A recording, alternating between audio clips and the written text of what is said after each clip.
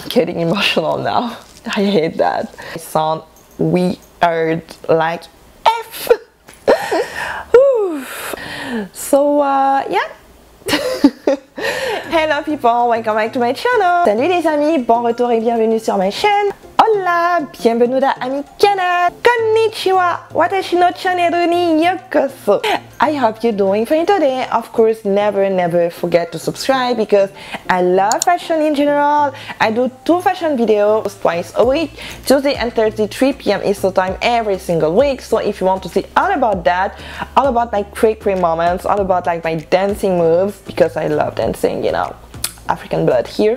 But you don't forget to turn on the notification button so that you can get notified every time that a new video comes out. So it's even better for you to just do it. And why not? It's free and on this channel already if you're watching me right now. So why do you have to lose? Really you know? Usual but today was specially dedicated to a chatty video this time and it's related to me where I open up a little bit more on how I got to just be so obsessed with fashion and that just grew more and more. It's just related to everything that I've been through before in the past growing up in a different country, different continent, through different continents altogether. If you want to see the rest, of course, keep on watching and believe me, it's gonna be good. A cup of tea, chocolate, everything you want. It's gonna be fun, I promise you. that many of you know me that much and I it was really important for me to just kind of break a wall here. Believe me, I hate doing it. Because of my personality, the way I am. I've been raised in a way where this is the private part of your life and then there's the part where you can freely share it uh, boundaries so this is why I just always set my boundaries uh, a great way to just introduce myself a little bit more and to know where's that fashion obsession come from just gonna go to like the main points that actually helped me to be the girl and the woman I am today. And see that I, I feel so awkward because it just like talking about me. Well, yes, I never really fit in any type of category here. I'm a weirdo at heart and I'm kind of getting used more and more to it, to be honest. I'm more and more fine by being different. I think the first thing that I need to say is that I'm, I'm from Cameroon. It's like Central Africa little little nice country I should say the food is amazing it's gonna be long because I'm gonna talk a lot but here my mom always always used to be a kind of fashionista at heart if I could say it like that it came from my grandma always seen my grandma being like super stylish being really well put together every time that we go out I used to just have to dress up a certain way for certain different type of situations. I think there's a lot more to do with cultural side of it as well. It's pretty well known that African they love love to be I love the flamboyant colors the freaking brightest colors. Like we love it. We, we really really really do love it. But the most important thing here is that it's just where where we need to just show that there's a way to dress up and that actually says a lot about that family. When we see a person when we see a family when we see people the first thing that we're gonna see is gonna be the way they're gonna dress. And no matter what everybody is gonna tell me right now and right here i think it's still important today because you're not gonna go to an interview and being dressed up in jeans and t-shirt and expect to have the job. If it's like a corporate environment if you want to be a lawyer or any kind of really strict more strict type of environment don't expect to have the job and don't expect to be surprised if you don't even get the job. Add up to that the fact that we used to travel a lot in Europe and France is like my second village that I like to say a lot of different cultures. So European culture definitely um, marked my mind. Grew up between the African culture and the, the European culture. And in the middle of that I was a fan of everything regarding Japan. I still have that Japan addiction till today. I grew up so with that even that changed a little bit but in a better way i can really dress the way i used to dress when i was 15 you know crazy when it comes to japan south korea China and Taiwan was probably my favorite. So, I used to watch a lot of Japanese animes because I was drawing, right?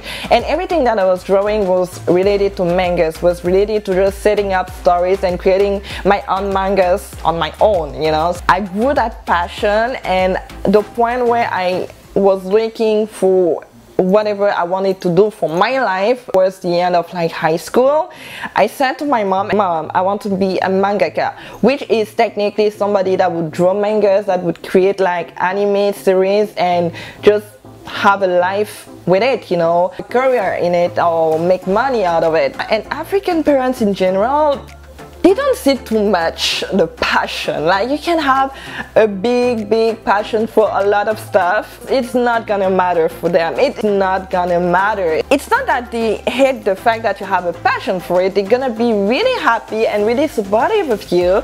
But if you keep it as a passion they expect more career on the financial level of it. It was not a way of living and having a really stable career, which is kind of true. So my mom said no, pretty much. Okay, well, other things that I could do. At that point, I think I always had the passion for fashion for sure because I had a mix and that's probably how I came up with the style that I have today where I kind of love mixing matching a lot of stuff because you don't have to just like stay to a specific type of style. Whether it's like African or just European or just Asian I had kind of the freedom and I was aware of all of these styles already. Freedom to just like express myself more through my outfits. Being in a French school, we don't have to wear like uniforms. We kind of wear everything that we want to, like certain rules, have to dress up appropriately. Again,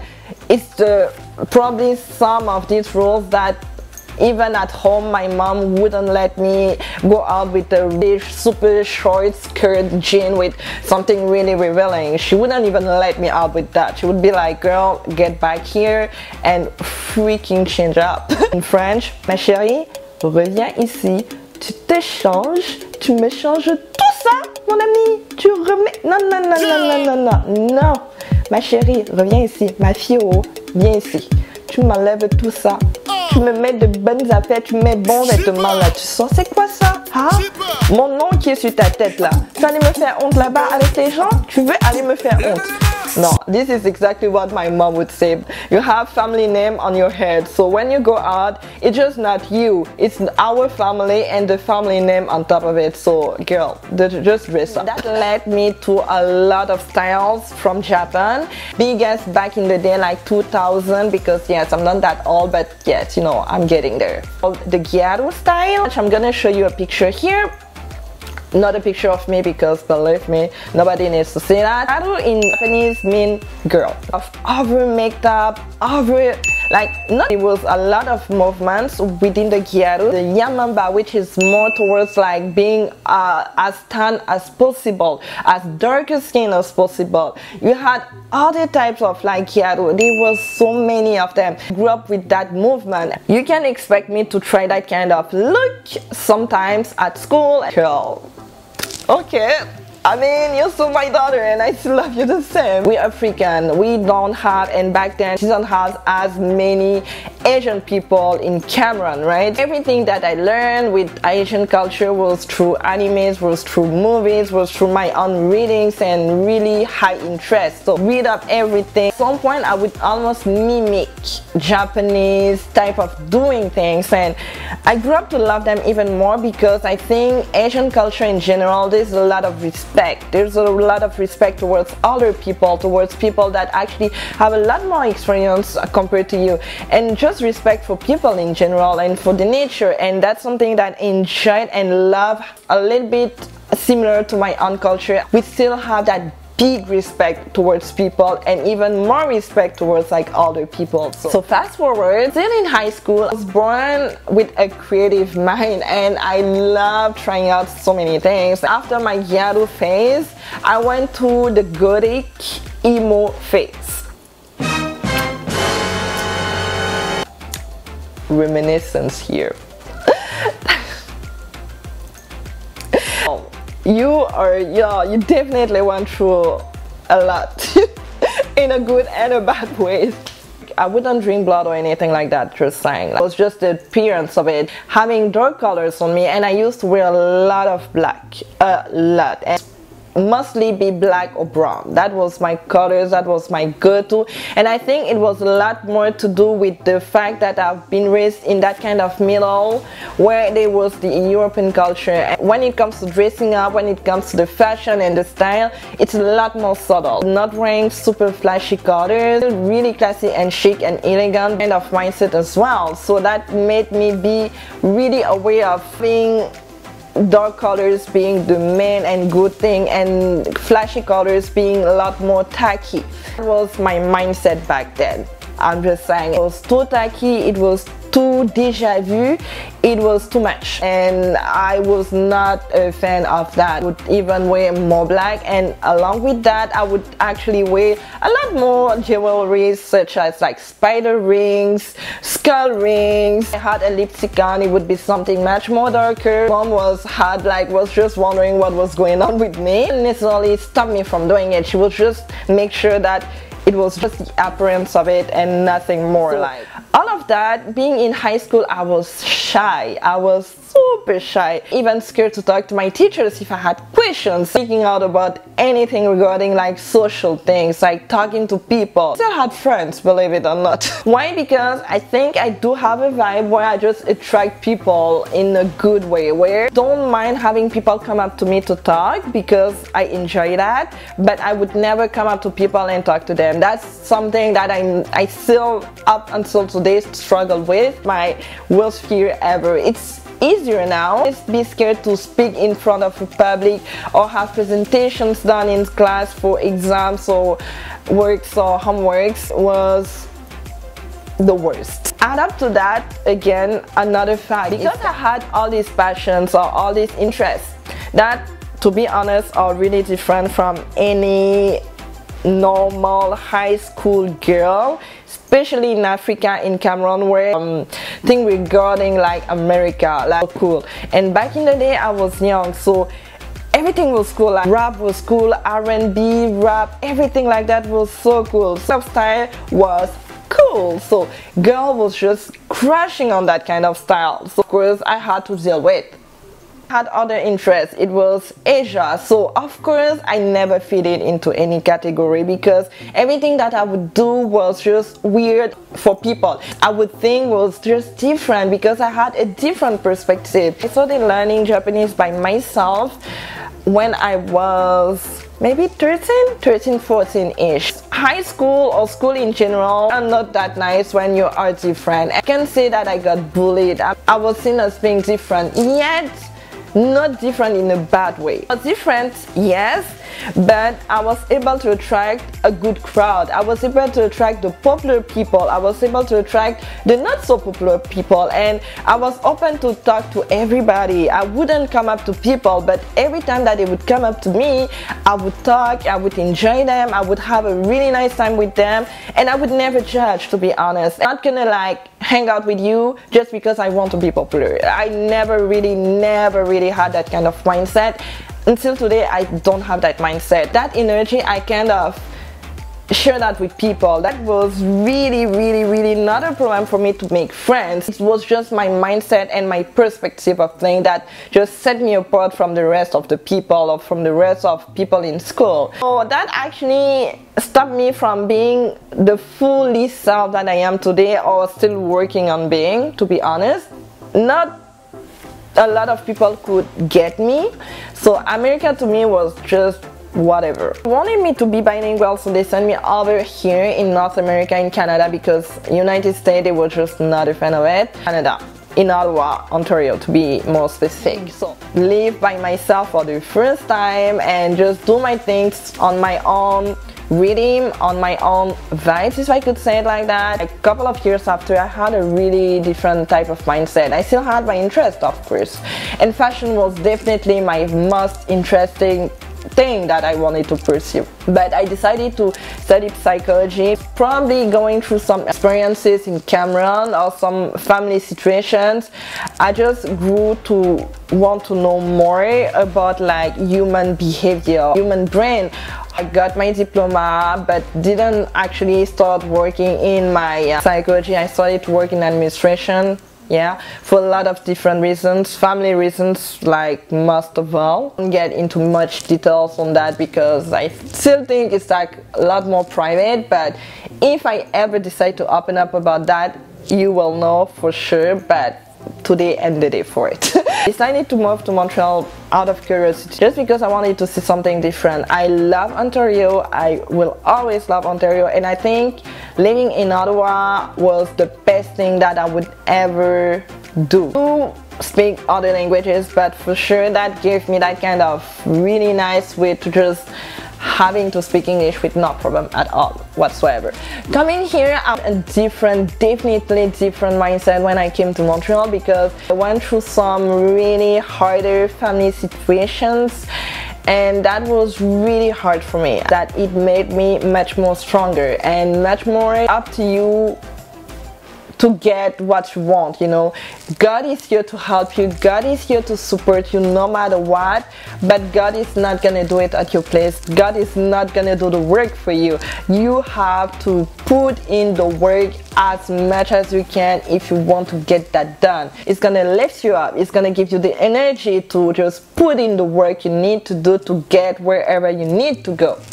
Fashion was a lot bigger than just dressing up during the day or dressing up to go out through all my hardships, through all my difficult situations, I realized that fashion for me was a kind of therapy. By dressing up a certain way, I would feel better. Really instantly transform my mindset or transform my mood. So that thing, if that helped me as much as it did, that could help people out there. How I started thinking about maybe pulls you more in that fashion direction than anything else. So I decided to share more about my outfits, more about my style on YouTube, on Instagram. Always had a creative mind, which led me to have not only to do like drawings, manga, anime series and stuff like that, but other than that having videos done having montage editing that's something that i love to do back then. I didn't do any videos related to me. I would do any montage video regarding some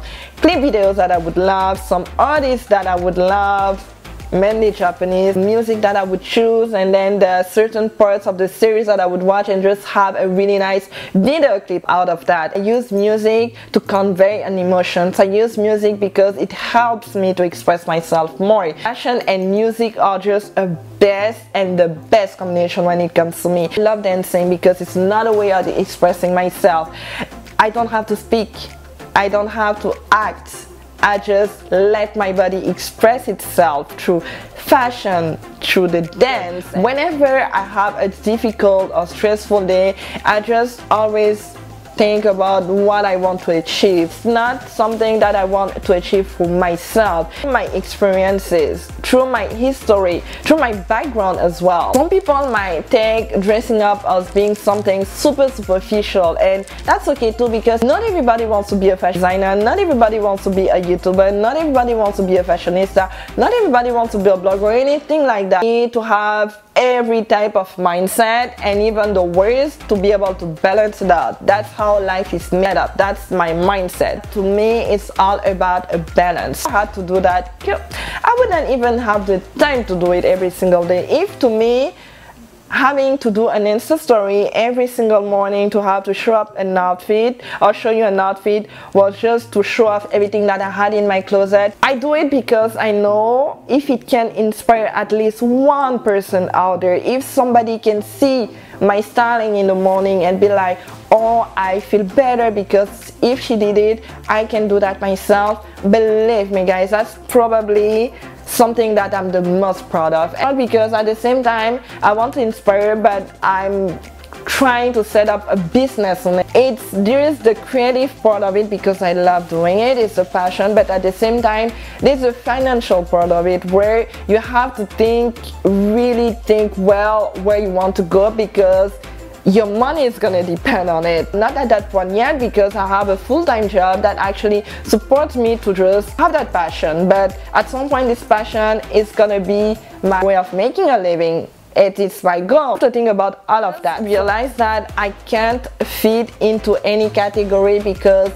i have had so many influences throughout my youngest age throughout my life i'm edgy but edgy again it's another category. Another day i could be much more than chic. Another day i could be super casual. Another day i could just look different. I got that back then in high school. Whenever i would dress up people were just looking at me and be like only in your mind that you can have that kind of outfit. So ashamed because i was not categorized and I was not being seen as being part of the crowd. And you're young you want to be the part of the crowd. You want to be included in the crowd. Younger people younger girls out there if you're watching this video believe me we all went through that. Other sister is gonna talk to you and say that honey you don't need to be like other people. You can be you and different and that's okay too I know it's hard to believe. Yes, she might be right, but I still want to be like my friend out there because she's popular with people. That's not the life. Because at the end of the day,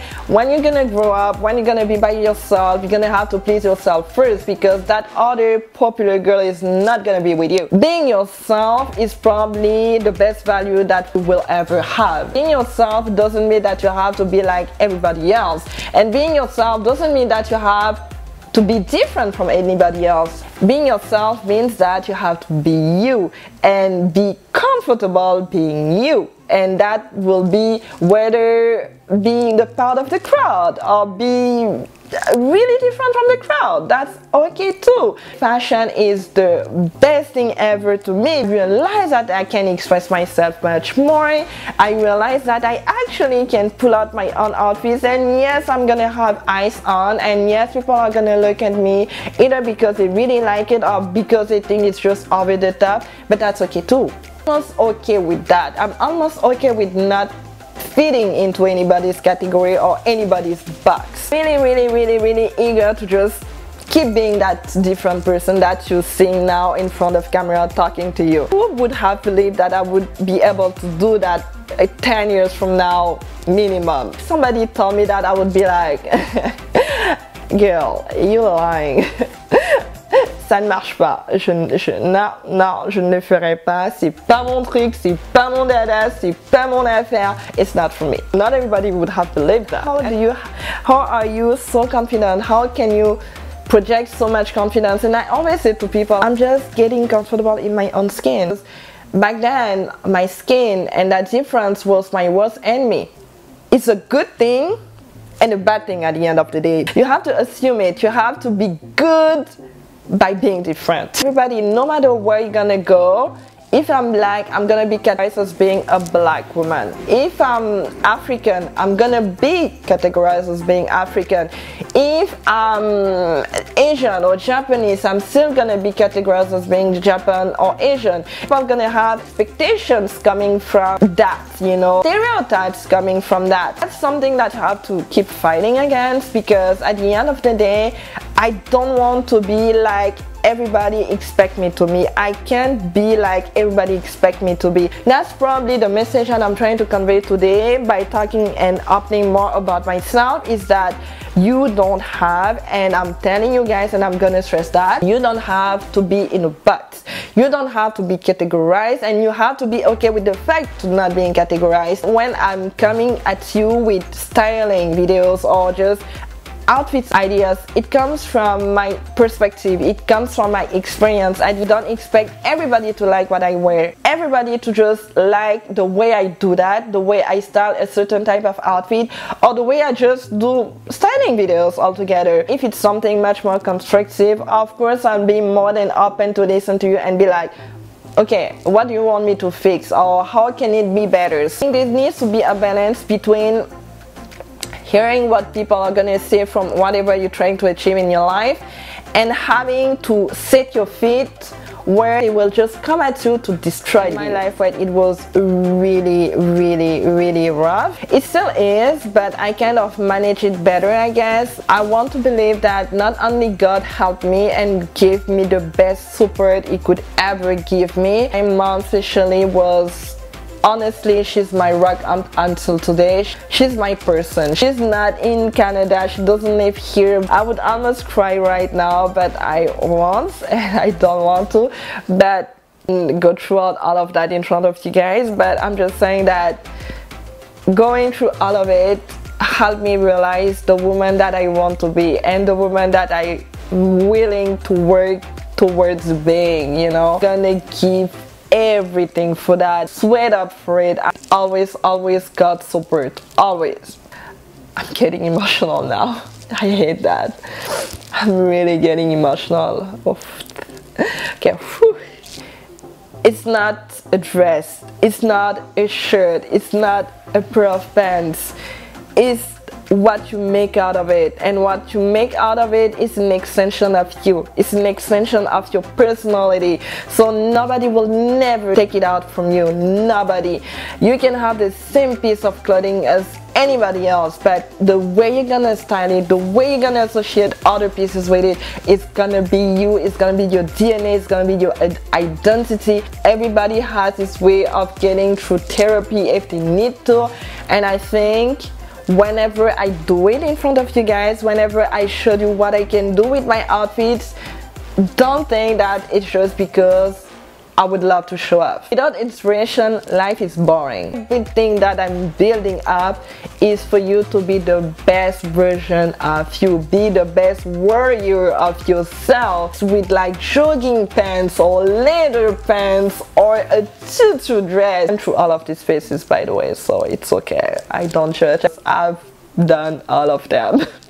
mostly for the most part. Believe that I have the creative mind to do it and if somebody comes up at me for it why not help I still have that really difficult balance between getting the creative mind of it and then getting the business part of it and it's probably where I struggle the most with. So if any of you have suggestions like I told you I'm open to anything and any kind of advice. So scared of just wasting people time and that's my worst fear actually come up to people and selling stuff and be like you know i'm gonna help you i'm gonna get it I, my anxiousness talking here hard for me to do I would just keep rambling and keep saying it, but uh, I would just keep talking forever and ever and centuries and centuries. But I think there's an end for everything, and that's the end.